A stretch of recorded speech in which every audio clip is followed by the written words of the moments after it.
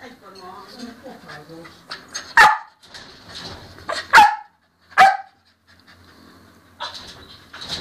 Egy másik kutyát, akkor mindig összekiáltás, hogy Gondolom, hogy van sok kutya.